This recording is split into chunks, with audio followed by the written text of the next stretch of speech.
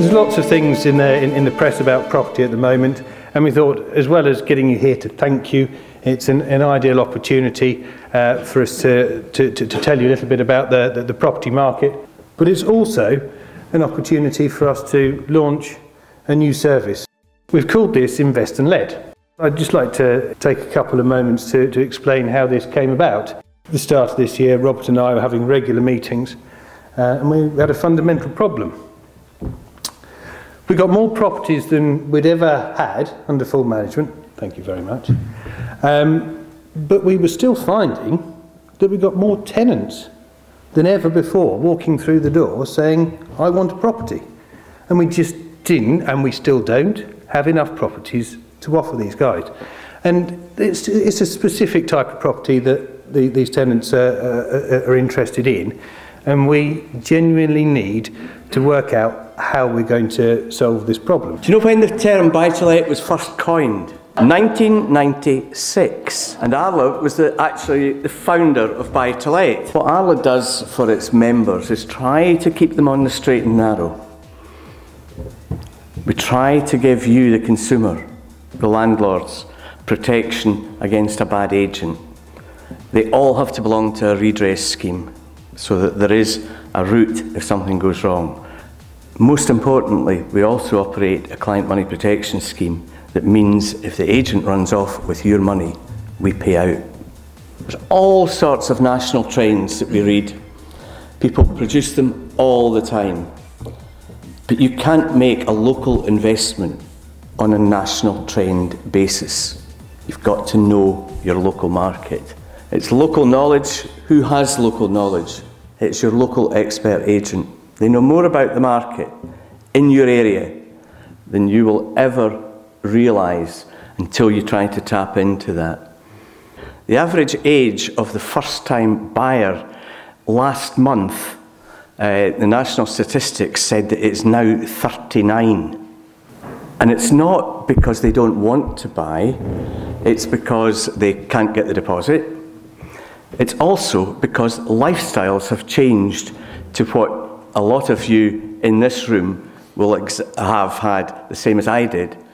That we settled down young, we got married young, we bought our first house young. Is that what your children want to do today? Is that what your grandchildren, in my case, want to do today? No, it's not. So the whole market has changed. So there is a real demand. Now, is one of the biggest tenant referencing companies, and they base their statistics on actual rents achieved. Not what you see advertised on Zoopla and Rightmove and everything else. It's what has actually been achieved. And it's six consecutive monthly rise in East Anglia in rents. And it's the only region in the UK that's achieved that. And that includes prime central London. So you're actually sitting in an area where the demand is going up, where the strength of the market is going up, suggests that there are perhaps opportunities. What is right for buy to let is not always what's right for owner occupation. People who live in the private rented sector have a different type of demand. They are looking for different things. So do bear that in mind and take the advice that you're given on it. Take professional advice as to how you buy the property. If you speak to Council of Mortgage Lenders and the Building Societies Association and ask them how buy-to-let properties have been financed uh, and who the borrower is, they tell you that it's about 80% of the properties have been purchased in one name. That's not terribly tax efficient for most people. And what you do need, if you're looking to expand your portfolio or start your portfolio, is a good accountant that can give you the tax advice as to how to do it. If I'm buying a property today, I want my grandchildren on the title deeds. It's the fastest growing bit of the marketplace uh, in the private rented sector is actually the retirement market. People of my age now, retiral age, are actually selling the family home and moving into rented accommodation um, in a, an environment that they feel that they're uh, comfortable in. So it is a big expanding market. I know one of the specialist uh, agencies that work in that market last year secured 500 million pounds worth of funding to build. And they haven't started to build yet because they're still trying to identify the right markets and the right opportunities for it. We're building at the moment about 120,000 too few houses a year in England alone. At the beginning of the financial crash, we were 1.4 million houses short in England. By the time of the next election, it is expected that we could be 2 million homes short. Well, I decided to invest in property in, I think it was around 2002, um, when I resigned from teaching. Um, and the main reason was my children, my daughters, were leaving home and wanting to rent properties. Uh, we probably first started about 10 years ago. Um, all of the properties we own are in the sort of surrounds of our shop in Ipswich. Uh, we basically bought them as an investment and also um, to help lift the area. We really started investing in property as our practice has grown. We've taken on more staff, uh, and for some of those staff, we've had to find properties for them to live in. Uh, when they've moved on or bought their own properties, uh, we've then retained those houses and, and taken, you know, used them as a long-term investment letting opportunity. I was fed up with shares because they kept going up and down, and I thought, and I've always loved houses, um, and I thought it'd be a very good idea way of earning rent appealed to me no end because I could see what I was getting each month. Absolutely has been a worthwhile investment to be in the buy to let market. Um, not only have we got great uplift in the values of the property, but we also earn money on a monthly basis after we've paid all our expenses. And of course, because we've been in it for quite a few years, the rates that we get are quite advantageous because of the low interest rates we have at the moment. It's been very easy and straightforward. I think there's always the concern when you have a, a, a, a property with tenants that there's going to be issues with tenants, um, maintenance problems, problems finding new tenants. Uh, but with Pennington's running the show for us, it's been very straightforward and we haven't had any headaches at all. For the last six or seven years, I have to say, it's been very, very good. Um, especially since interest rates have dropped and we are on very good mortgage rates from having done it a few years ago.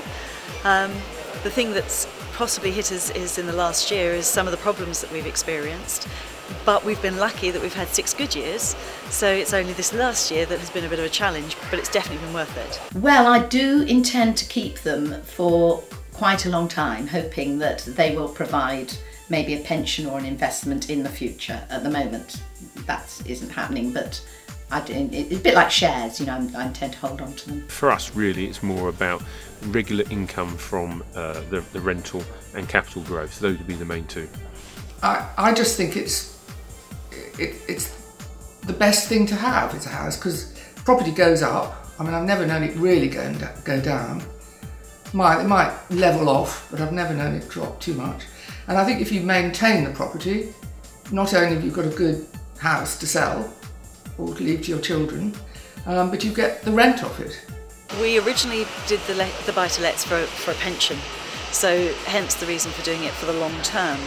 But it's very nice that actually it does give us a secondary income at the moment as well.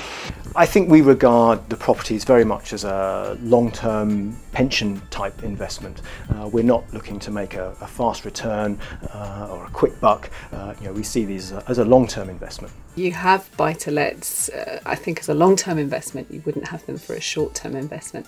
But sure, one is always thinking as one gets older, this could make a nice little pension pot. And really it's a relatively stress-free and easy investment to have, particularly if you have such a good agent as Pennington's. We need quality landlords who have got quality properties that are treating tenants fairly. And if we do that, the tenants will generally come back to us time and time again, which means that we've got a great book of tenants with a great track record coming back to us time and again, uh, renting properties as and when they move on. So again, it's down to having you guys on board as quality landlords. 60% of the people that walk through the door, they've got somewhere between 550 and 650 pounds a month and they want something that's got two or three bedrooms. It's as simple as that. I mean, that's what is being demanded. And that's what we've got to go out into the marketplace and find. And we think that we're positioned very nicely to, to try and facilitate that. Um, we have been in the market for a long time Uh, Geraldine, my mother and father, set the business up some 24 years ago now. Uh, it's in my blood. We know property. We really understand it. Um, we've got the experience. Many of us working on the team have already got, we are landlords ourselves and we own properties. We understand it. And we know what is going to let. We genuinely know what's going to let. Somebody comes to us, shows us something, and we will know whether it's going to do well or not. Um, and we also fully understand the business processes and the regulation that's now coming in and being able to deal with that. And we've also got the relationships uh, that are needed across the town. We've been here for a long time now, so it's not just us and you. We've got surveyors, other agents, solicitors, accountants, and we're working with all those guys in, the, in Ipswich and the surrounding areas. They all know us, we know them, and inevitably opportunities arise, and we need to be able to grab hold of those and pass those on to you. And so I think that we're able to, to, to sit quite nicely there and facilitate that for you. The way that we decided to, to, to set up Invest and Let, uh, we've devised seven steps that we think that would take you through uh, from start to finish. Uh, and initially that's going to be having a, a, a sit-down meeting, and it's all about you guys. Um, and we'd like to understand what your long-term goals are, um, how much you would like to invest. And if you then decide that you want to go ahead and, and, and take us up on the service that, that we're offering, um, we need to, to have some commitment from you by way of an application form and a small fee up front. Once we've gone to that, once we, we, we've got that agreement from you, Uh, the next thing we need to do is to engage with the other partners that we've got uh, uh, as part of the service. And, and this is absolutely fundamental and core to the uh, Invest and Let proposition. Um, we have to have absolute confidence by all of those other stakeholders that the people that we represent have got the wherewithal to go ahead and complete and do a deal if we go and make a final offer. Clearly, if there are problems with the conveyance or the survey or whatever, that's a different matter. But if we genuinely go into the marketplace and we want to make an offer for our clients, we know that we have to have that credibility. But that credibility will develop opportunities for all of us, real proper opportunities. But we get issues where we've got big chains that are built up as people buy. Now, invariably, some of those chains break down. The first time buyer or the investor can't raise the finance, whatever, chain's dead. We want to be the first people on that list that those agents phone up and say, We've got a chain that's fallen apart, it's a big chain, it's all going horribly wrong. We need one of your cast iron buyers to come in and prop it up, and there's a deal to be done. We've all of a sudden got a motivated buyer. We're putting you in a great position to be able to go in there and hopefully buy something at the right price that's going to give you the, the, the, the return that you need. So really the, the whole essence of the finance and making sure that we've got all the I's dotted and the T's crossed and getting that credibility in the invest and let brand is absolutely key to making this work for you guys in Ipswich. So a part of the process is going to be uh, pointing in the direction of, uh, uh, of some of our uh, financial experts um, who will then be able to, to advise and top and tail. And I will genuinely need for them to sign you off and say, yes, you're in a position to proceed. And at that point, then we'll move forward. I think Invest and Let could be a very, very good idea for people who have busy working lives and haven't got the time to do it themselves.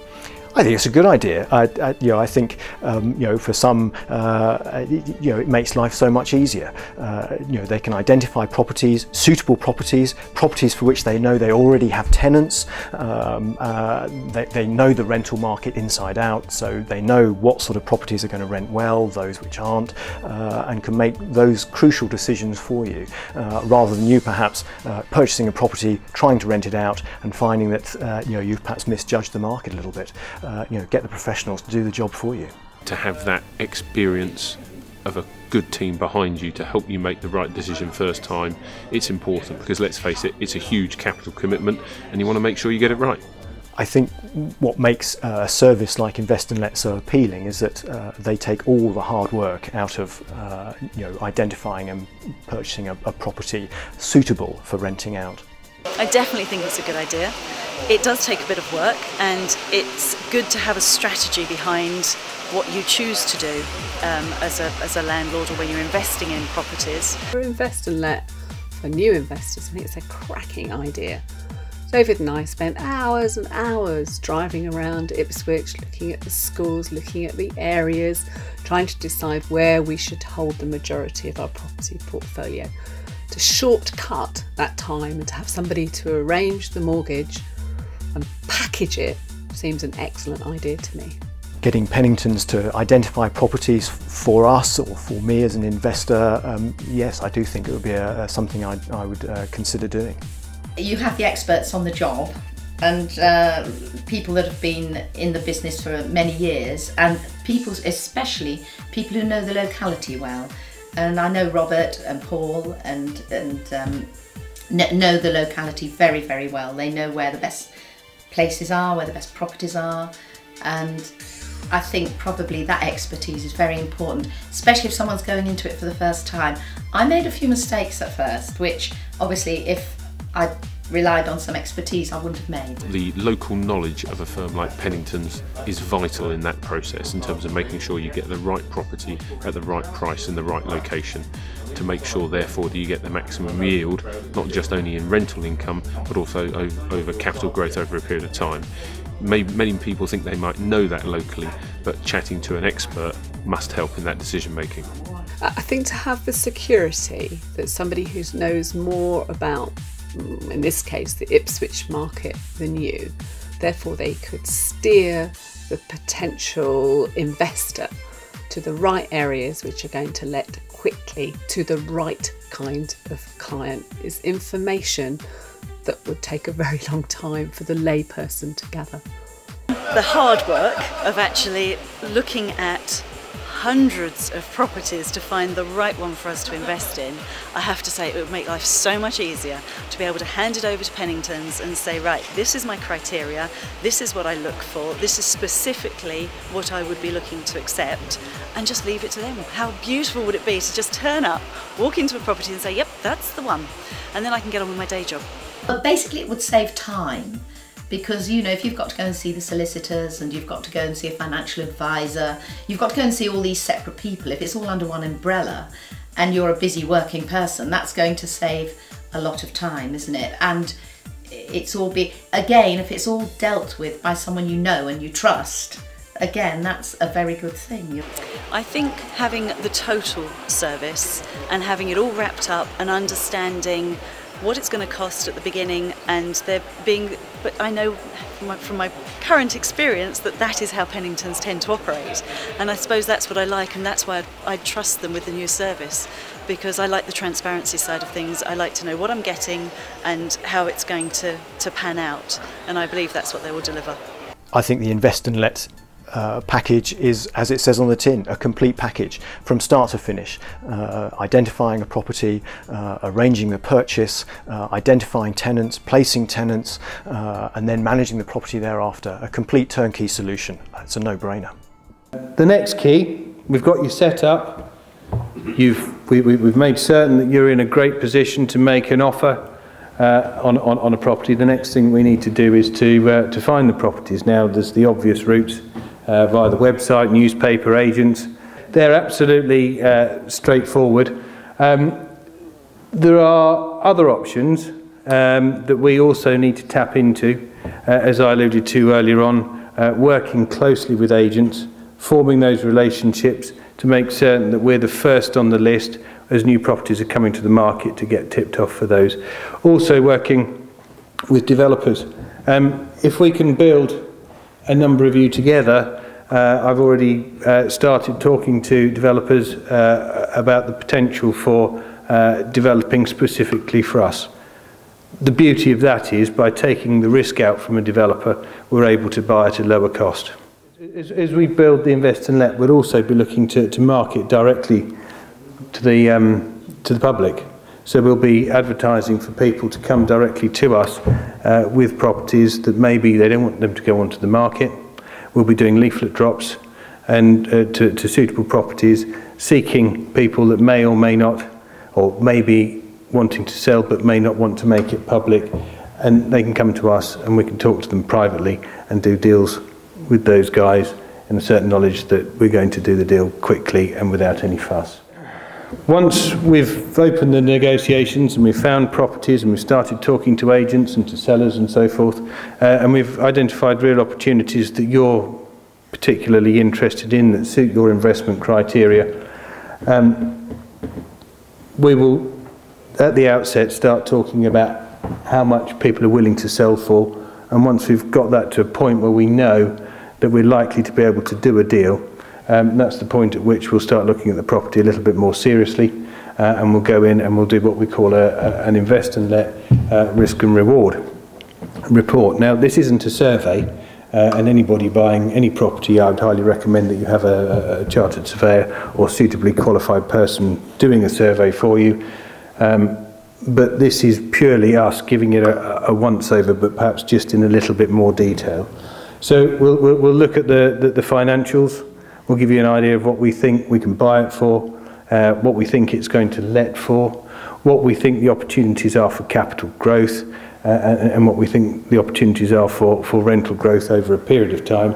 And we'll give you that uh, those projected figures uh, in, in a 25-year forecast. And we'll also detail uh, what we can see uh, in terms of works that may or may not need to be done, both to the exterior of the property and the interior of property.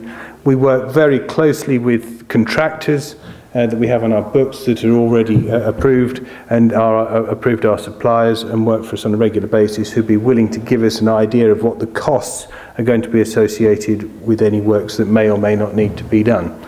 So it's a full report that gives you an idea really of exactly what you're going to get and how much it's going to cost you. So once we've put all that together, we're then in a very good position. We know, uh, we know we've got the finance all lined up, we've found the right property, uh, we've done the risk and reward report. Uh, it's time for us to really earn our money uh, and negotiate. Well, uh, I can tell you, uh, Robert, Ian, myself, there's nothing we like more than really getting our teeth stuck into a good deal. We will absolutely save any fees you pay us for this service as a result of our negotiation. Once we've done the deal, we've got it struck, the vendors, agents generally uh, will put together heads of terms uh, and we will then need to instruct solicitors. Um, within the invest and let service, uh, we have uh, contracted, or we, we're working with Ashton KCJ, uh, particularly in Barnard, who I've worked with for a number of years now. Uh, he works within the business in their commercial team. Uh, he's pretty no nonsense, get on with it.